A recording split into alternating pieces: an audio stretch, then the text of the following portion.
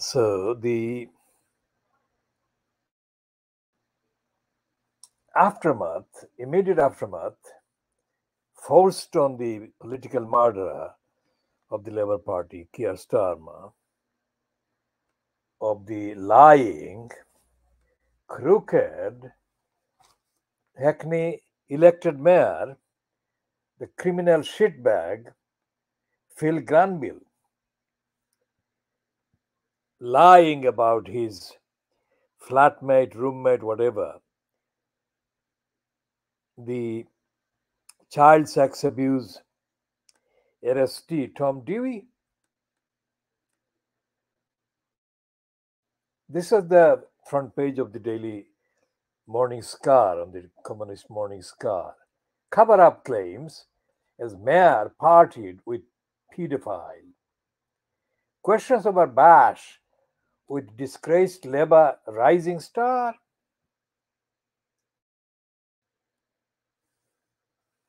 So today, the Morning Star says Hackney Mayor suspended after Morning Star expose. And this item has been, of course, briefly covered in the Guardian online. Let's check what the Guardian state of this item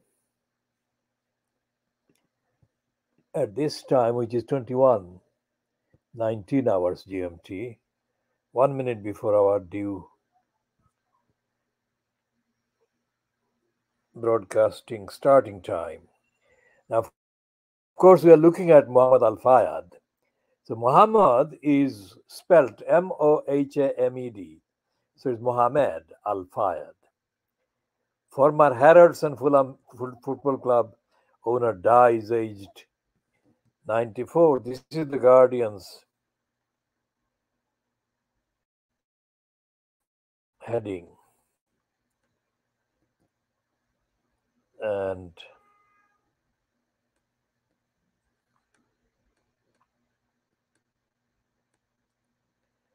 and the evil, George injustice, waste, that criminal who single handedly carried out the years long harassment of baby angel Geronimo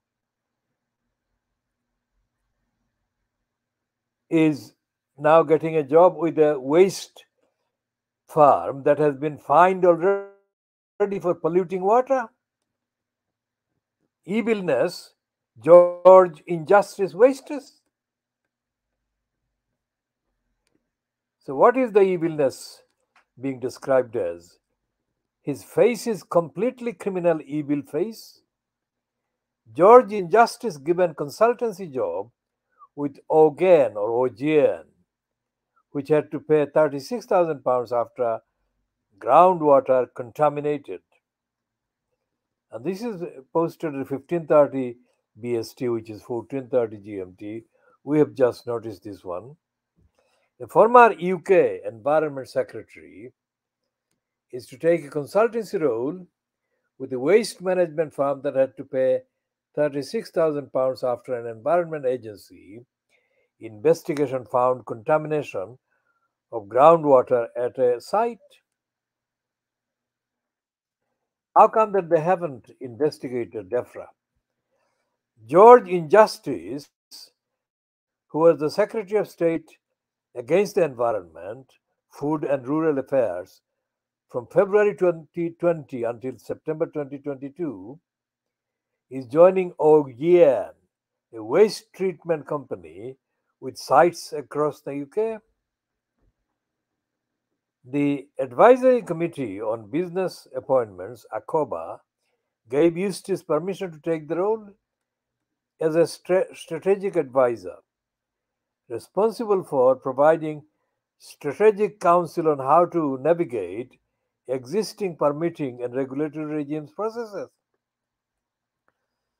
how to navigate, that is, to avoid existing permitting and regulatory regimes processes, and offering wider advice on the environment and governance issues.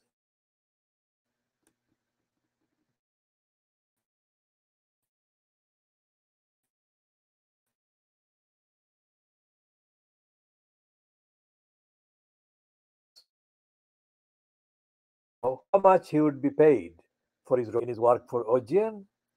He said if a financial interest did arise, it would be declared through the parliamentary register. In ACOBA's advice letter, neither Eustice nor the Department for the Environment, Food and Rural Affairs, that is DEFRA, made any mention of the investigation by the Environment Agency, an arm's length body of DEFRA.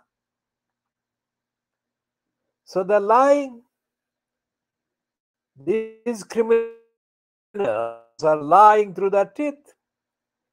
And baby angel Geronimo, the world's bestest witness, is vindicated again with this revelation, which is far from a complete revelation of the latest criminality being indulged in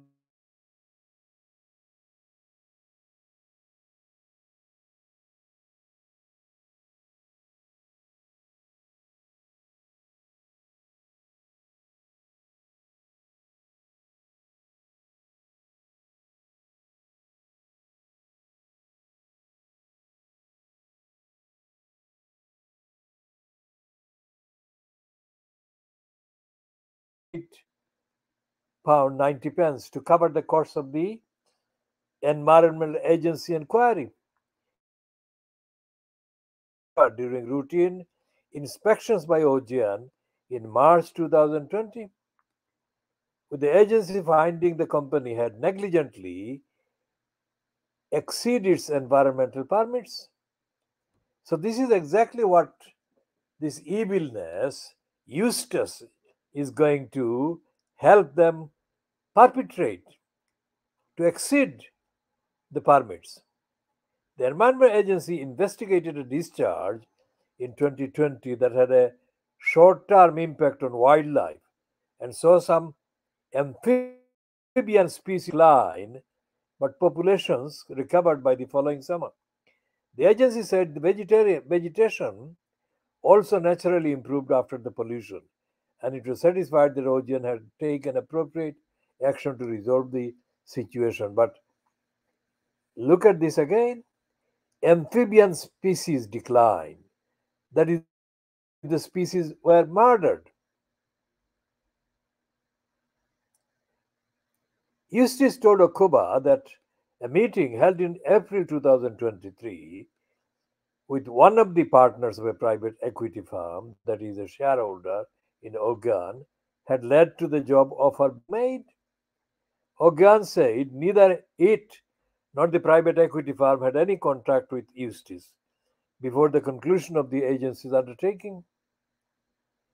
DEFRA told ACOBA the department had no specific dealings with Augean, but transparency records show other ministers had three roundtable meetings with company in 2000 16 and 2017. Liberal Democrats have criticized Eustice's appointment. Christine Jardine, the party's cabinet office spokesperson, said it's a kick in the teeth and a former that a former Secretary of State responsible for overseeing environmental degradation is now working for a firm that has been fined for these very acts. This comes as the conservatives continue to tear environmental regulations and leave communities to pick up the pieces of our withering countryside. Rose Zussman, the policy manager at Transparency International United Kingdom, said this latest appointment should serve as a compelling reminder to government that despite ACOBA's deploying stringent terms in this case, the public are likely to find the relationship between public service and private interests too close for the absence of better regulation. To mitigate this, this risk, the government should implement its existing commitments for better regulation of the evolving door and bring forward regulation of the revolving door and bring forward plans for tighter controls on lobbying. DEFRA declined to comment. Is it amazing, isn't it? DEFRA, the combination of evilness, declined to comment. And we shall be investigating further on this Eustice's degradation, degeneration, the evilness.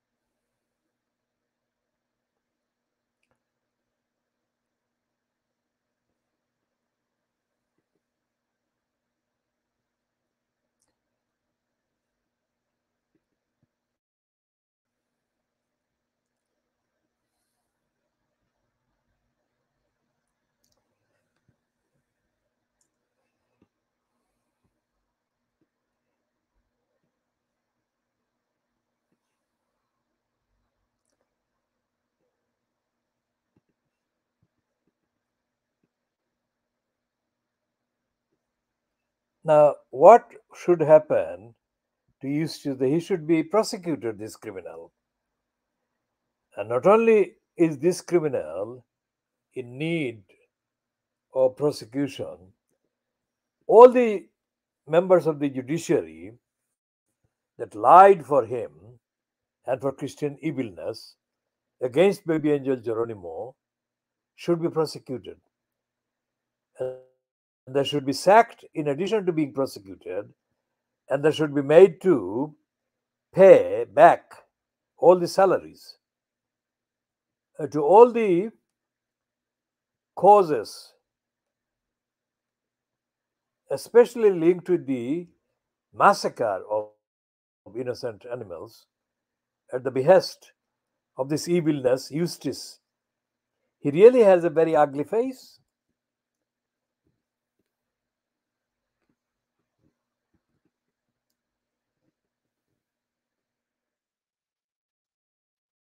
So, what is this Henry Dyer? So he says that in, Henry Dyer is an investigations reporter for the Guardian.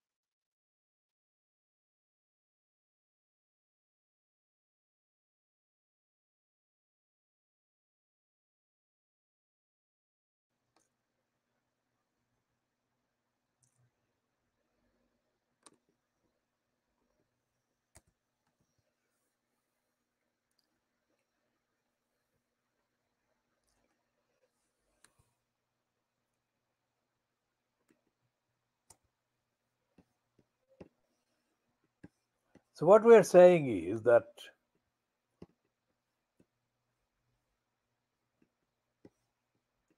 injustice, Eustice, should be prosecuted.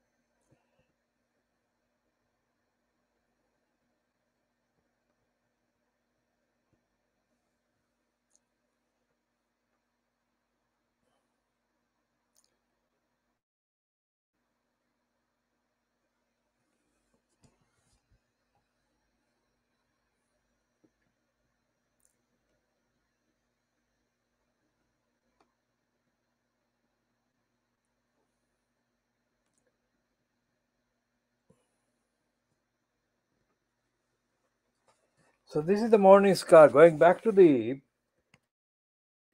crook, liar, Hackney Mayor, Phil Granville. Completely shameless shitbag. Hackney Mayor Philip Granville, Gran- Glanville has been suspended by Labour Party after the Morning Star published a partying with a former councillor and rising figure of the party's right who had been arrested for possessing images of child abuse.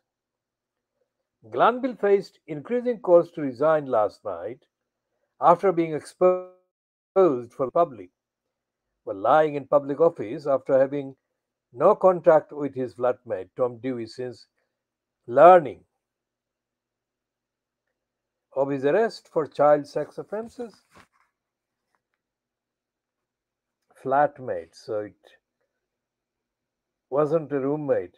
He apologized for an error of judgment after the photo showed him taking a selfie at a Eurovision bash with Dewey. Hours after he had been informed by the council's chief executive, that is Hackney Council executive, that the arrest had taken place.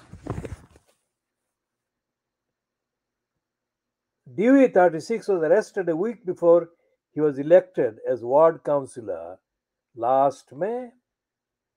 The council informed Glanville over the allegations against Dewey after contact with the National Crime Agency announcing his resignation for personal reasons two days later.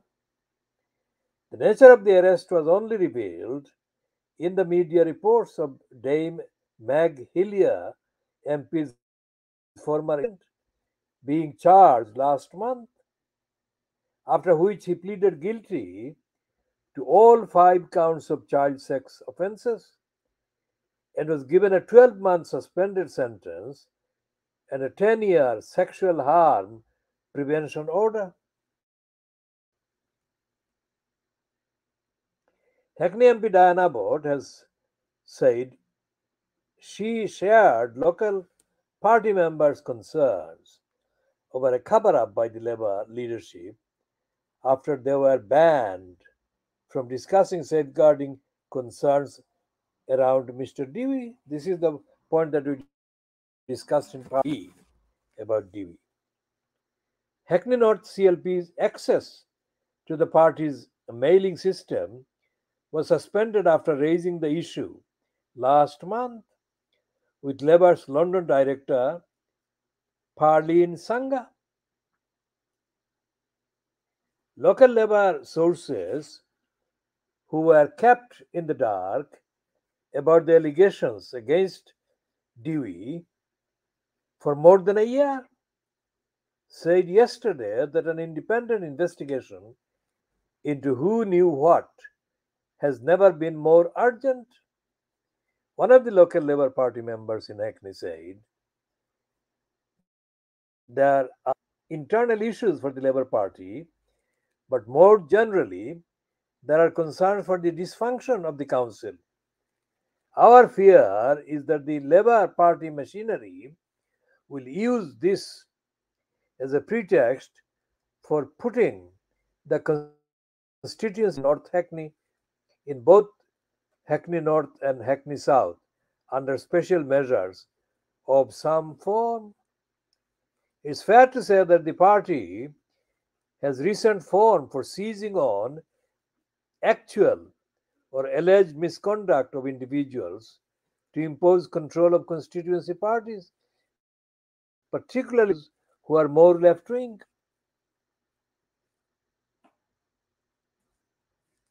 Hackney Council's interim chief executive, Dawn Carter McDonald, said the council is aware that the directly elected mayor of Hackney has been suspended from the Labour Party.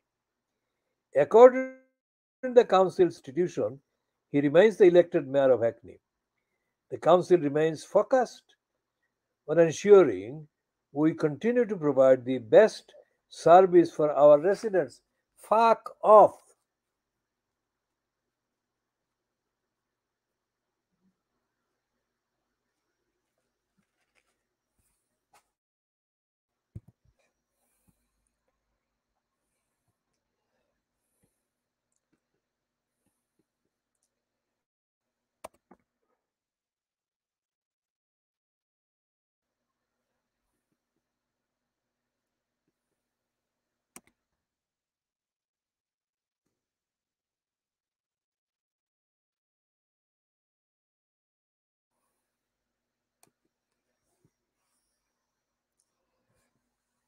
So, this program is going to continue with other issues, except to say that we are returning. We are returning stupid statement that the interim chief executive of Hackney Borough Council has just made.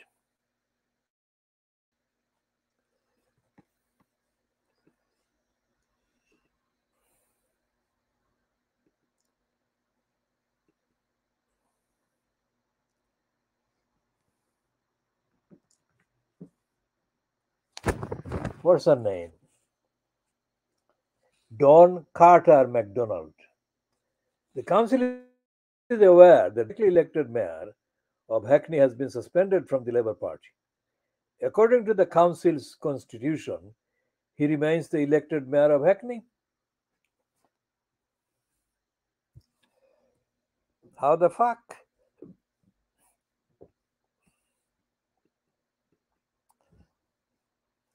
He should be immediately.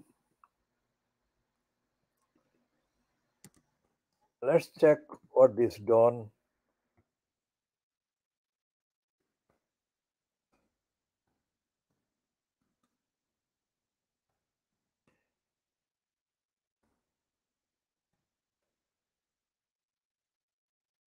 Oh my god.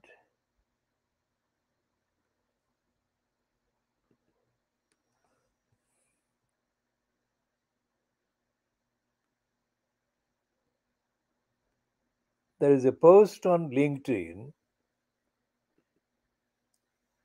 where somebody is saying that he is congratulating his little sister, Dawn Carter MacDonald,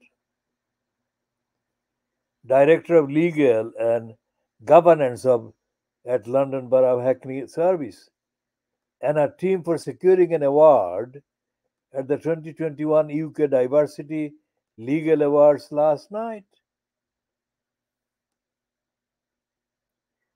Now, if this is this is what winning Diversity Legal Award means, that Dawn Carter McDonald is now upholding the crook Philip Granville.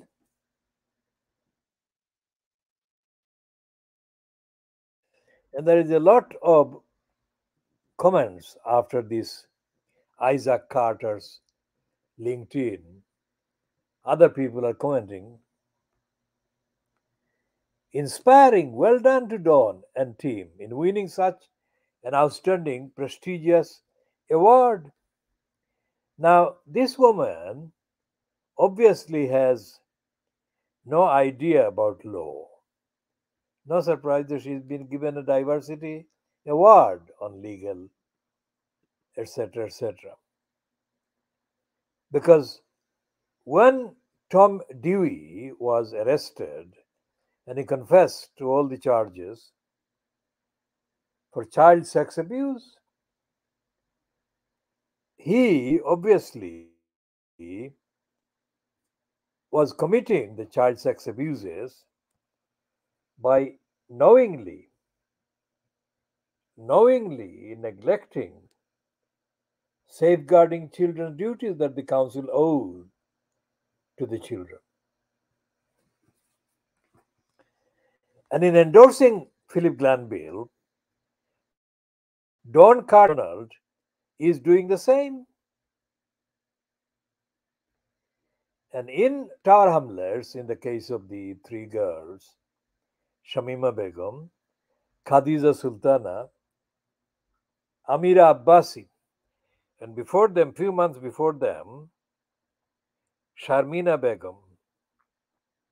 These four children were all children in 2015 when they were reported for the first time as having left the United Kingdom and entered Syria allegedly to join the so called Islamic State or whatever. Now, these girls were groomed over several years before they took the flight out of the United Kingdom. So, what did Tower Hamlets Council do during those years when they were being groomed, these girls, radicalized? What did they do? No one is asked question, and most certainly not Diane Abbott, nor any of the either of the two councillors, sorry, MPs, both Bangladeshi origin women in both the Tower Hamlets constituencies. One is Beth Green Bow MP, Rushanara Ali, and the other is Apsana Begum, Poplar and Limehouse MP. There is no mention of them anywhere expressing any opinion as to whether they even knew of the very important duty owed by local councils legally called safeguarding children duties.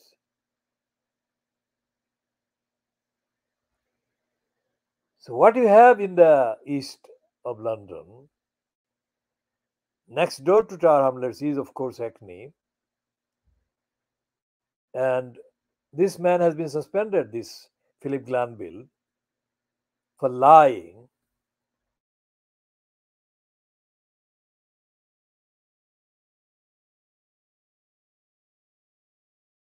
a criminal.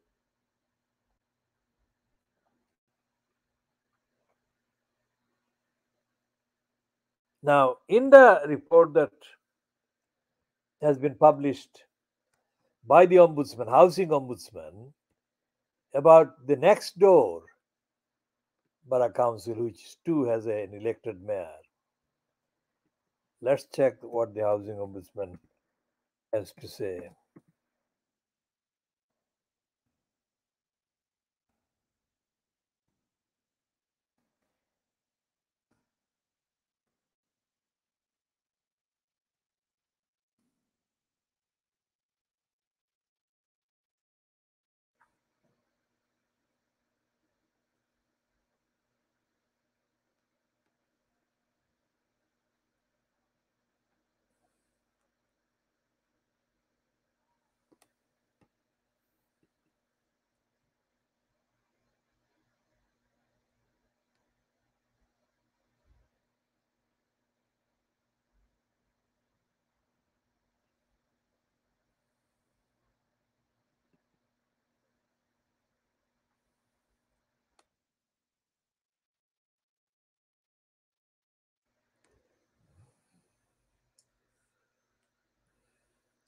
Newham Council is to pay £5,400 after failing to resolve damp and mold issues for over three years.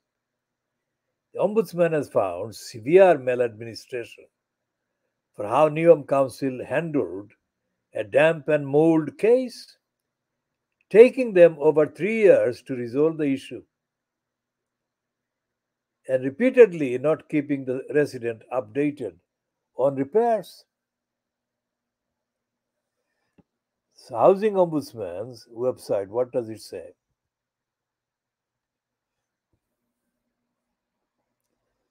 So the humble, the Housing Ombudsman, Newham Council to pay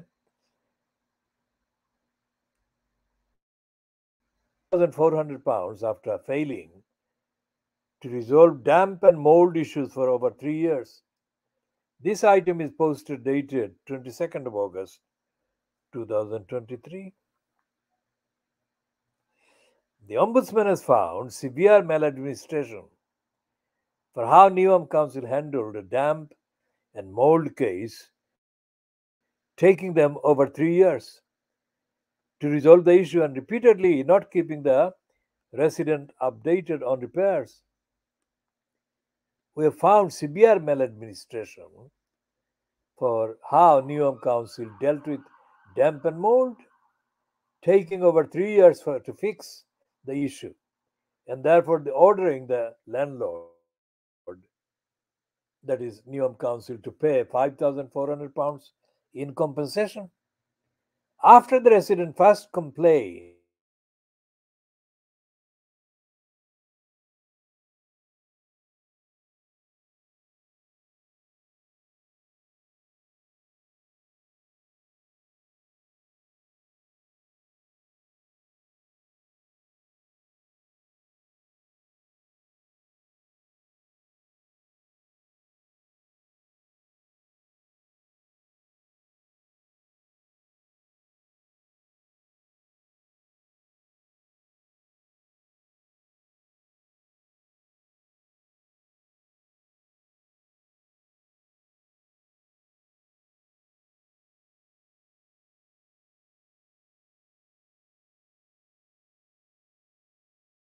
and it's a it's a long statement by the housing ombudsman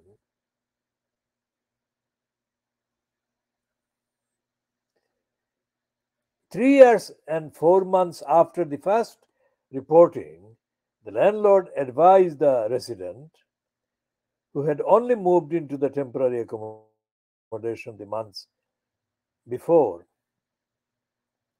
that works were complete. However, when the resident returned to the home, he believed the standard of repairs were unsatisfactory and asked for an independent surveyor report to prove otherwise. On top of the compensation, which has been calculated to include some of the rent paid during the period of severe failure, we ordered for a senior member of the landlord to apologize to the resident, provide him with information about next steps regarding his damaged belongings, for the landlord to review its service against the Ombudsman's spotlight report into damp and mold. In its hearing from the case, the landlord said it has acted on all the orders and recommendations and set up. I'll read that again because I have misread one word. In its learning from the case, not hearing, the landlord, that is Newham Council, said it has acted on all the orders and recommendations and set up a damp and mold task force as well as publishing a draft damp and mold strategy action plan.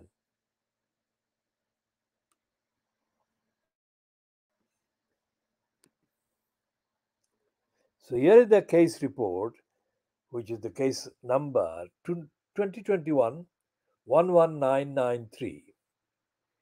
Housing Ombudsman Service.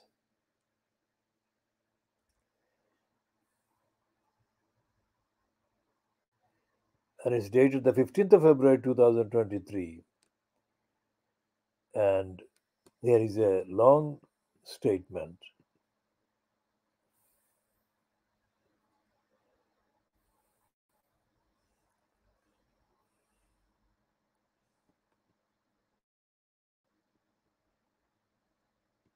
Which we shall be reading later, not this time.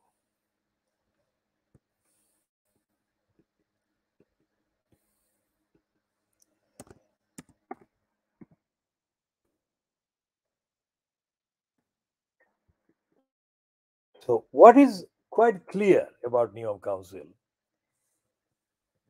is that if this particular resident whose complaint has been upheld by the housing ombudsman had not persisted, he would have been neglected. So, if you multiply the numbers of cases, similar cases of neglect, damp and mold, by thousands of people that have been affected in Newham, who have been ignored by Newham Council, then you can see the actual damage being caused by Newham Council, which is operating as a criminal organization.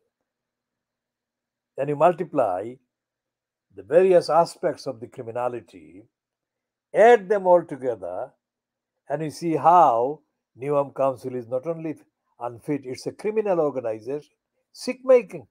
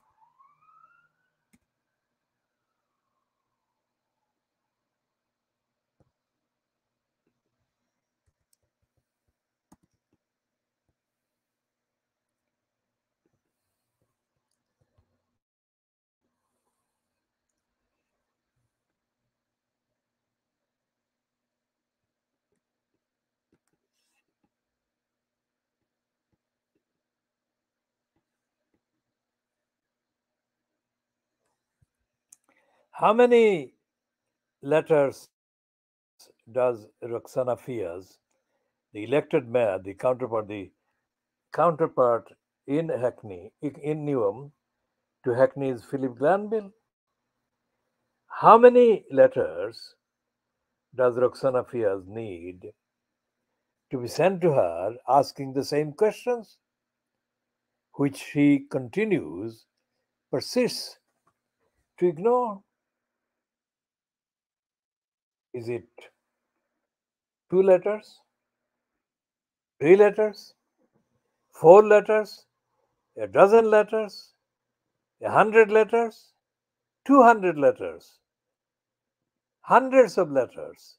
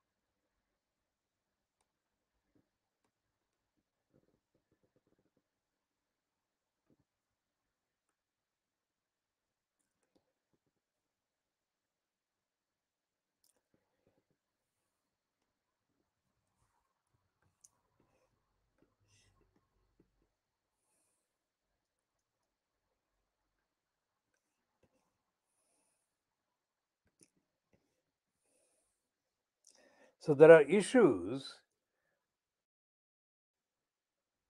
There are issues to do with MPs lying, ministers lying, prime ministers lying. So, where do members of the society, members of the demography, members of the population in the United Kingdom go? Seeking redress against these liars. There is no place that people can go to. And the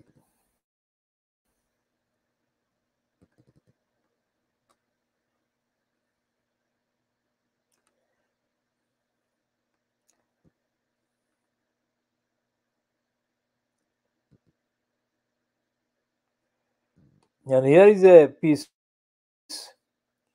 of news that is six hours ago. We've just noticed it. It's a it's a female called Amber De Botton, who joined Rishi Sunak's team when he took over from Liz Truss in October 2022. Rishi Sunak's director of communications has quit her role as Downing Street's mini reshuffle took an internal turn. The former ITV journalist Amber De Botton, who was brought in to salvage the government's sinking reputation when Sunak took over from Liz Truss, as Prime Minister announced on Friday, she had decided it is the right time to move on. She provided no explanation for the move, but paid tribute to Sunak for his support and leadership. In a nod to the pressures of the job, De Botton said number 10 was a demanding and high pressure place to work, but added the professionalism and talent of those working inside it was exceptional. De Botton lasted less than a year in the role, having joined Sunak's team at the end of October 2022.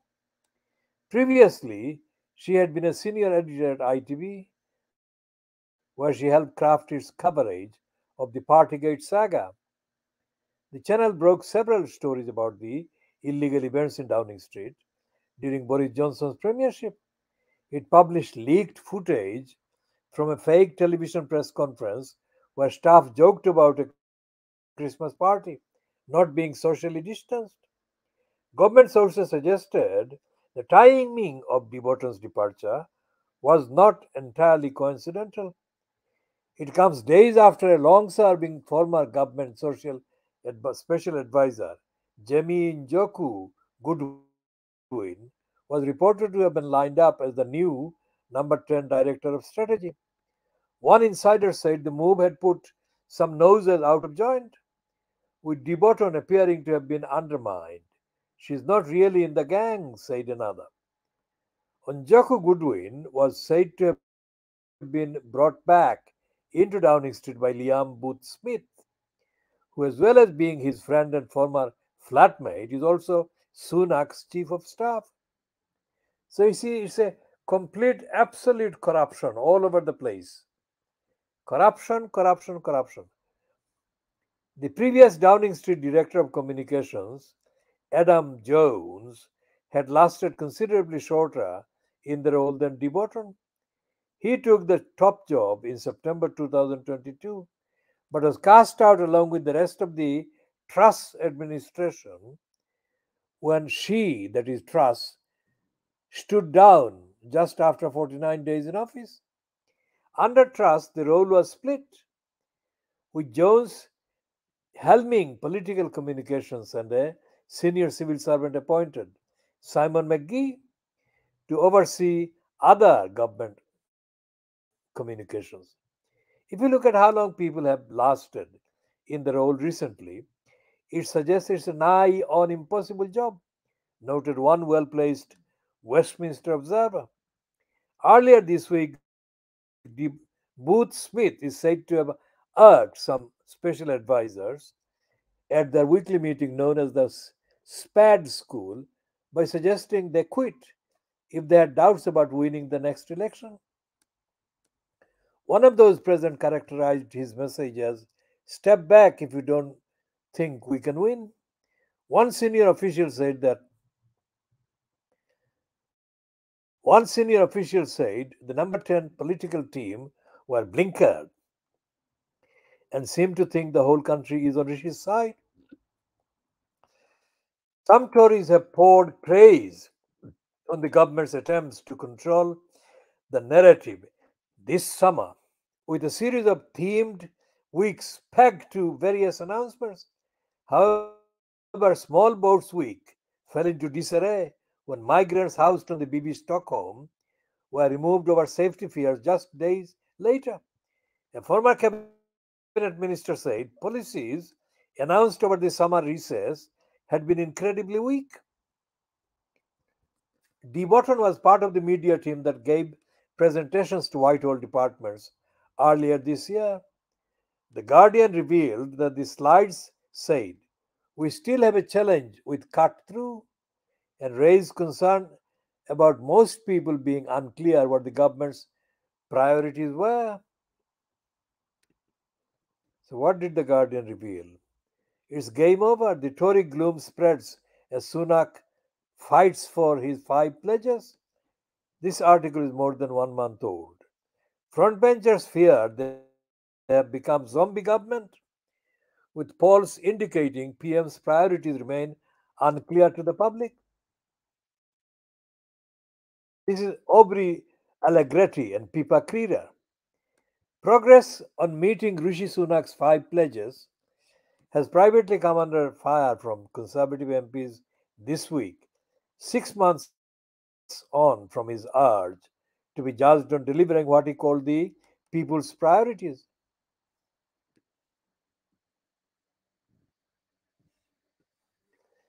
Jitters have extended all the way into Downing Street, with Prime Minister's senior aides traipsing across Whitehall to raise concerns about how the pledges are landing with the public.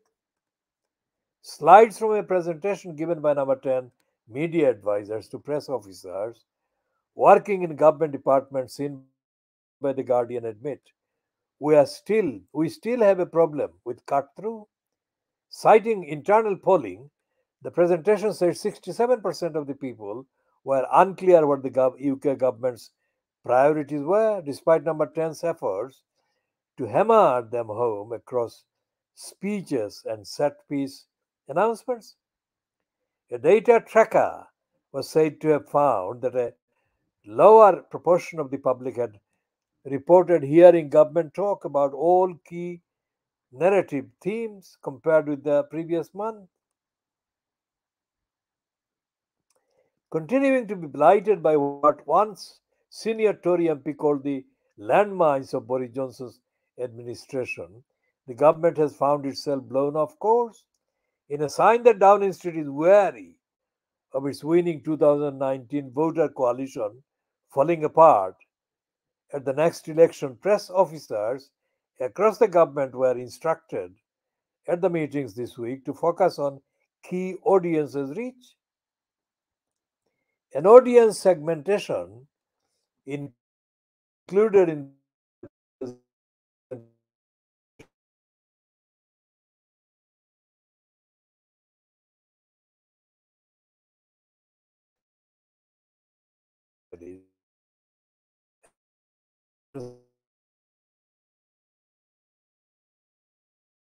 and those disengaged with the government, with key health audiences identified as frequent GP visitors, elective surgery patients, and those with a chronic disease, the presentation suggested.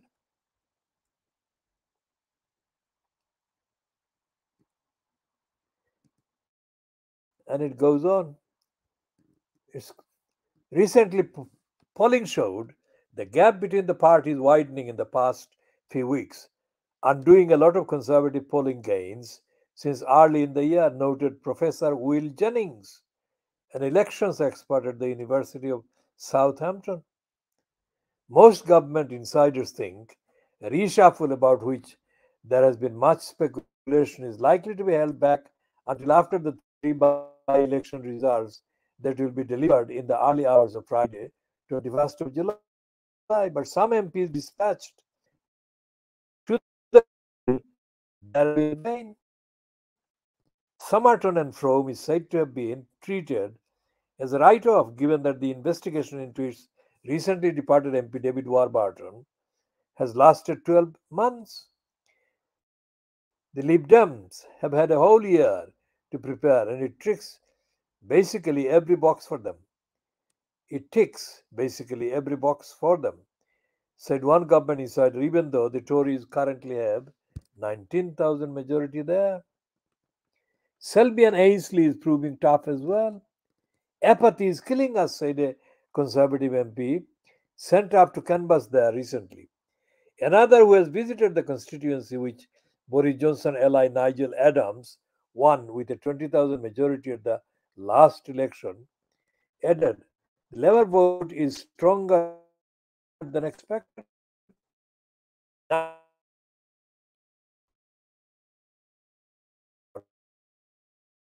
To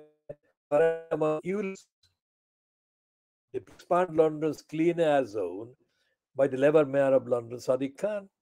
However, the much slimmer Tory majority in Johnson's old seat of about 7,000 puts it at greater risk of flipping.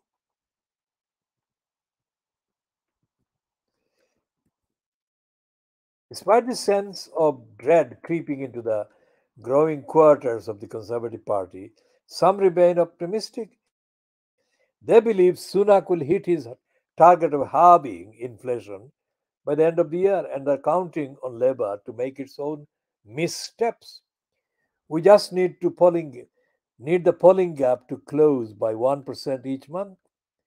Then we'll have the gift left turning on Starmer, and it will be them losing their heads, predicted one government insider.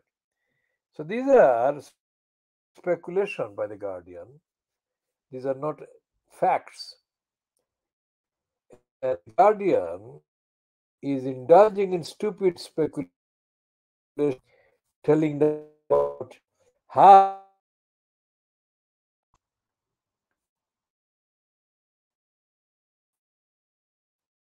to destroy society if he gets the chance.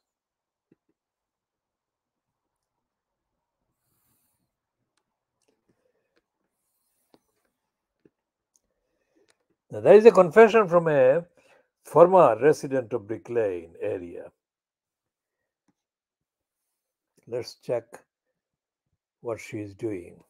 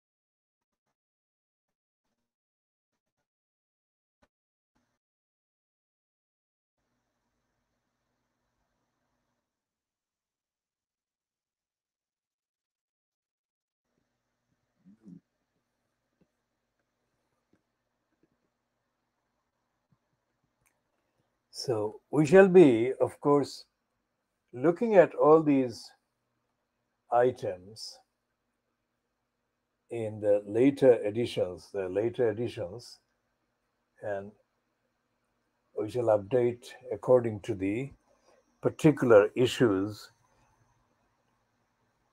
and the evidence as we find them. Going back to the question of the Baby Angel Geronimo essay,